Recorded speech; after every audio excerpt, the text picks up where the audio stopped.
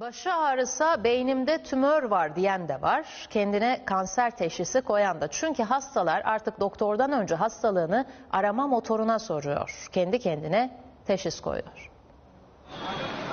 Ayağımda küçük bir yara çıksa bile bakıyorum. Ya Google'a fazla bir şey yazmam. Ben genelde oradan öğrendiklerimi doktoruma sorarım. yanlış bilgilere, yanlış tedavilere, halkın yanlış bilinçlendirmesine sebep oluyor. Haberiniz doğru olabilir ama yanlış teşhis konusunda size katılmıyorum. Şu an yaklaşık olarak 15-16 tane web sayfamız var. Günde yaklaşık minimum 50 bin hasta ağırlıyoruz. Doğru mu?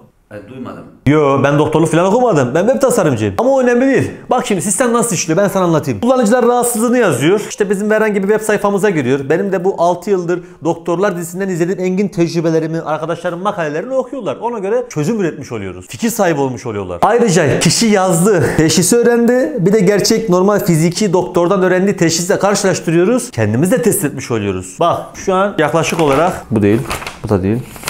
Ya bayağı biliyor ama ben sana söyleyeyim burada şimdi bulamadım ama bayağı biliyoruz biz. Sadece makaleler de değil ha. Premium hizmetlerimiz de var. Canlı destek filan bak. Normal parasını veriyorsun. Premium hizmet canlı destek. Bak mesela ne yazmış biri? Bak kolu ağrıyormuş. Bu adam kolon kanseri olabilir. Biz bunu yazmak zorundayız. Sonra yok yazdım işte kolum ağrıdı kolon kanseri. Tabii yazacağız kardeşim. Çünkü olabilir. Olamaz mı? Bence olabilir. Kolon mu, kolon mu?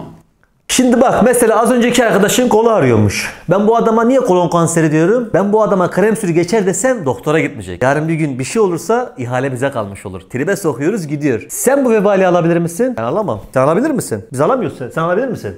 Yok. Anlaşmalı özel hastanelerimiz var. Güzel de indirim yaptırıyoruz. Win win. Moral de veriyoruz. Mesela adam grip oldum yazıyor. Senin fotoğrafı gönderiyoruz. Hikayede paylaşsın. Böyle ilgi manyakları için güzel oluyor. Yerimizde saymıyoruz ha. Biz de kendimizi geliştiriyoruz. Bu yıl mucize doktora başladık. Master'ımızı onunla yapacağız. Seneye de inşallah Erasmus için Doktor Havuz'la görüşeceğiz. Sistemimiz tıkır tıkır işliyor. Bizim herhangi bir sorunumuz yok. Bak. Hocam, Heh. Anksiyete bozukluğu varmış birinde. Ne yazalım? Cevap. Oğlum salak mısınız lan? Kasere bizim ne işimiz var? Yetkili servise yönlendir onu. Bilmeyen de gidiyor, bilen de gidiyor. 10 numara bir sürü avantajımız var. Yara bere görmüyoruz. Ölüm yok. Karşıdaki ölse de görmüyoruz. E dayak yemiyoruz. En önemlisi kafamıza prefabrik kırmıyorlar. Reçete yok, ilaç yok. Böyle takılıyoruz. Güzel yani. Tavsiye ediyoruz.